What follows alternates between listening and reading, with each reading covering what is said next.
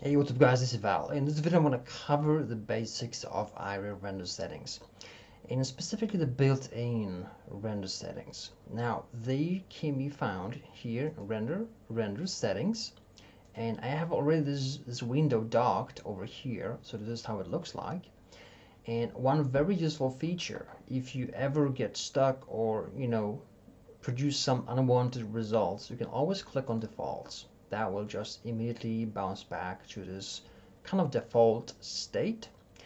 And first thing, you know, I, I cover this in the camera video, but I just wanted to quickly mention this that when the camera is selected, head over to parameters tab and headlamp and make sure it's turned off so that it doesn't project any lighting into the scene.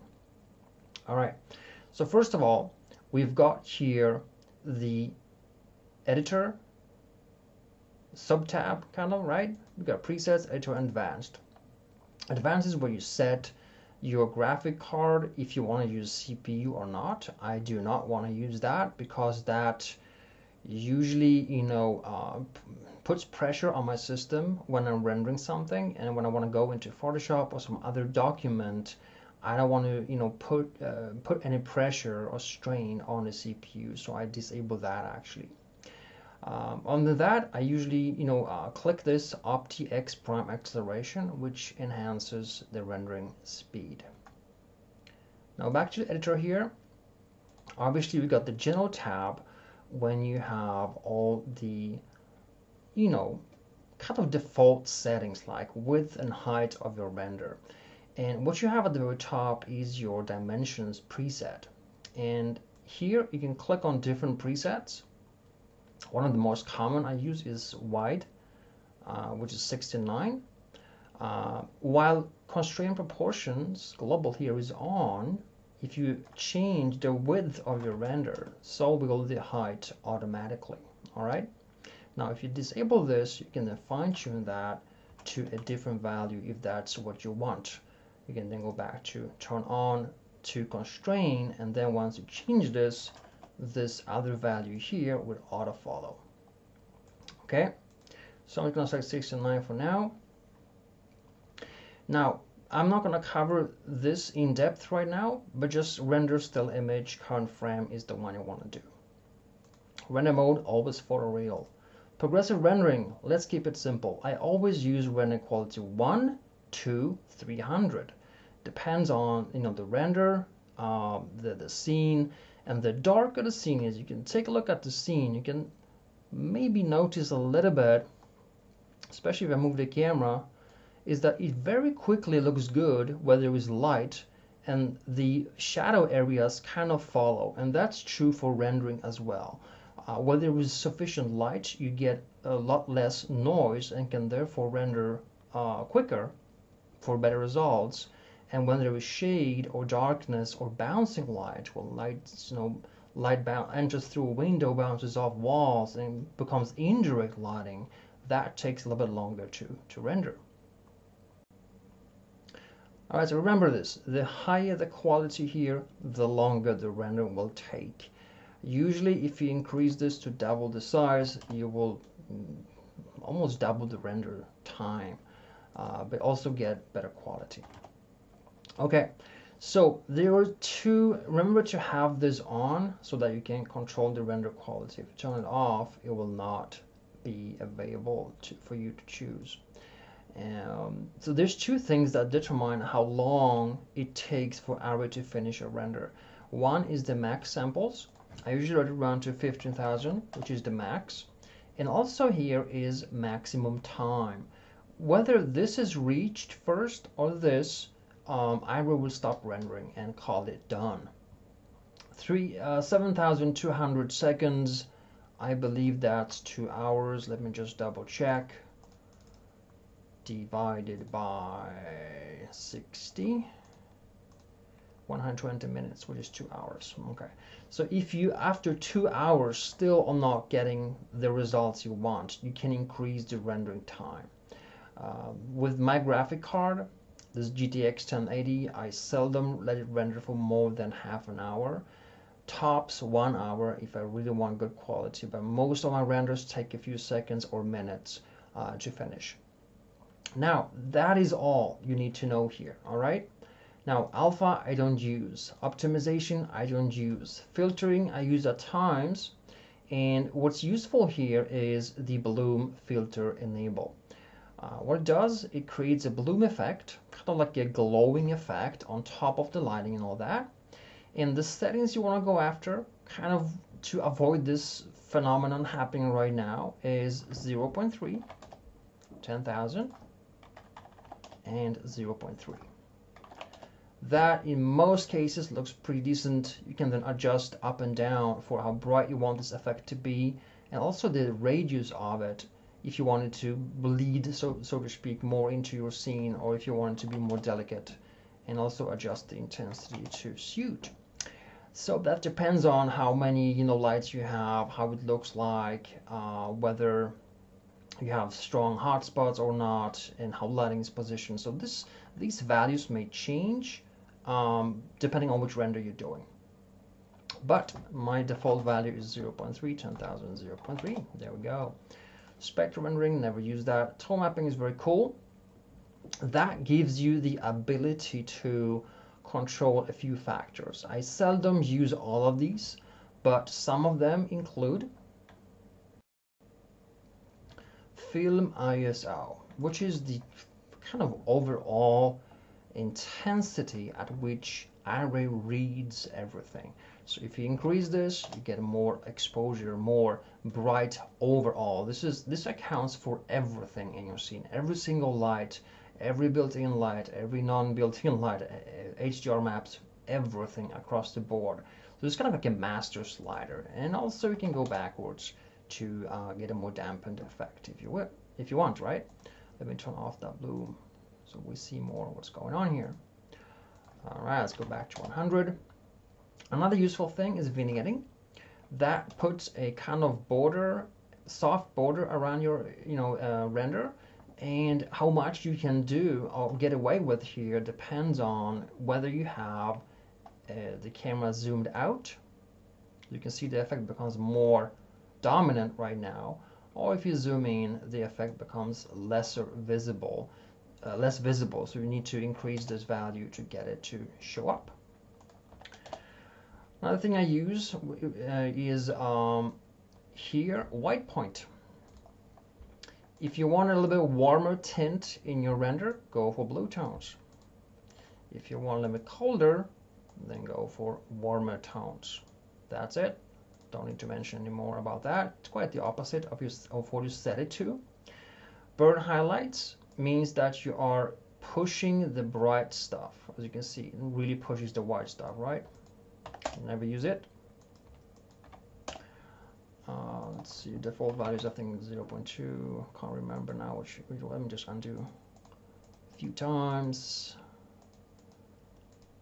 There we go. All right, Crush Blacks is pretty cool. Kind of like contrast increase. It, it makes the, it doesn't kind of well increases the black tones a little bit, but also it's kind of like a contrast, semi-contrast thing. So if you want your render to really punch a little bit more, you can do that. Saturation obviously is color. Full adds a little bit of color. Black and white renders black and white, and gamma is gamma. No need to explain that. All right, that's it. All right, so the most important tab is the environmental tab. Here is where most of the magic will happen. And here is some some things to consider. Um, dome, the settings I use is either dome and scene, dome only, or scene only. Scene only means you're only using the lights that are built in here, like point and spotlight, right? Only renders those, nothing else. Dome only means that we're suddenly using if you have no image applied here, if you have one, click none, all right? If you have no image applied, then Iray uses the built-in um, kind of global lighting solution with its uh, uh, latitude, longitude thing, which I never use, the date, which I never use, I just set it to some summer date and time at 6, uh, 6 p.m., that's okay. And thing is, as you see, you know, if you consider you know uh, sunlight in reality right? If if uh, the sun sets goes down it also orbits around you or your scene or yourself or your house or whatever you're looking at from right? So if i move this you can see that it gets longer shadows right? But also it turns around as opposed to if I go to maybe 14 it's almost from the front right? And as I move the time downwards not only do I get the sun lower and lower for longer shadows but also it rotates around the cube which is what the sun does right? There is no way to avoid that. If you want to adjust the length of the shadow and the angle this is what you need to do once you get the proper length of your shadow, what you do is go back to dome rotation and override the rotation to um, suit your scene. What you also can do, not many people know this, you can skew the dome on the x-axis to also kind of you know adjust the uh, angle a little bit although it's not perfect and it kind of orbits a little bit around very important draw dome on and off on obviously projects the sky in your render and, and the ground is visible down here. And uh, ground is kind of you know if you turn it off it's still visible it's not that kind of ground. The ground is if you take away the plane now the cube ain't casting any shadow. Turn on the ground on and it will cast shadow Alright, and this particular ground will only catch shadows from the dome, not from your scene lights. Alright, and dome and scene means you're using this particular setup, the one we're using here, and the built-in lights. Alright, so whatever you want to use here. And basically, this is it. Um, there are a few more settings. Let me cover those. So let me bring back the plane. And so remember, you have this master slider, which is the ISO. I can always bring it down if the statue, if, if it's a little bit too much in your scene, right? Now, let me show you one more thing, and it has to do with the sun disk intensity. Uh, this intensity is a master slider of everything, all lights in your scene this over here, environment intensity, controls the sky and sun, so the dome, right? And increasing that, you know, projects more light from the sky and the sun at the same time. However, you can do manually adjust the sun intensity by going here, sun disk intensity. This controls only the sun, so you can pretty much turn off the sun and still get the sky component visible in your render, alright? What you also can do, you can scale the sun disk. The larger it is, the softer the shadow. So uh, if you increase it really big, you get a really nice soft shadow. So if you want a softer shadows, this is the way to go. If you want a little bit harder shadows, you go back and create crisp shadows for being the default. Now glow intensity has to do with if you look in the sky, you can see the sky over here, right? And depending on how much you let it glow, it starts to, I went negative there, it starts to kind of glow in the sky. It doesn't change how it looks like on the ground though, so it's just a sky thingy, all right? Um, some of the things you can turn the entire render, you know, um, blue, blue tinted or red. Never use this, but it's useful for quick adjustments here a little bit. And horizon blur can be, you know, something you can use uh, if this maybe you have a window in your scene and you see this ugly ground, right? So what you can do with that, you can blur it, all right? You can also shift it upwards or downwards so that you never see it really.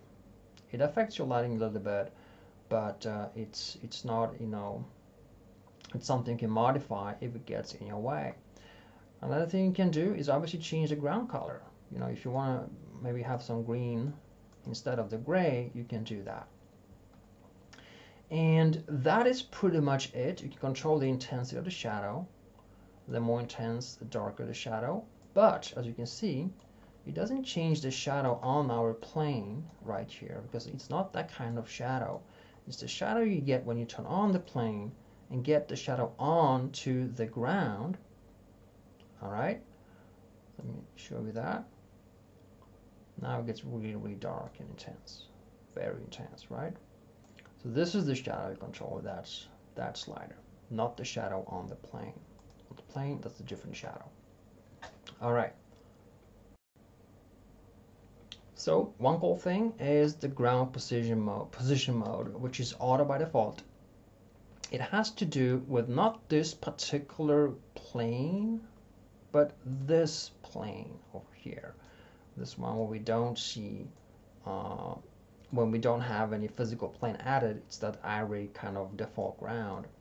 That is the one here. Um, when set to auto it means that it automatically tracks and finds the lowest point in your scene. So if I move my cube down now the ground follows all right see the cube is minus 42 almost 43 and still the ground is exactly where the cube is. Now if you set it to manual mode